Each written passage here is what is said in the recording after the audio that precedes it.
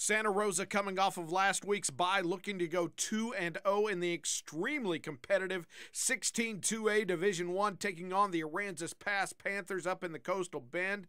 Early on, Adrian Canales playing quarterback, ooh, intercepted by AP, and then AP on offense, the handoff to Jalen Hill, and the Panthers are up 7 0. But back come the Warriors. How about Canales scrambling?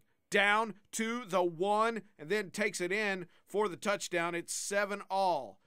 Aransas pass answers. Victor Gonzalez scramble inside and then a walk-in touchdown for him. Made it 14 to 7, but that would be it as Santa Rosa's defense holds Aransas pass for the entire second half and they score 20 unanswered points to win it 27 14. Santa Rosa starting off district play 2 and 0.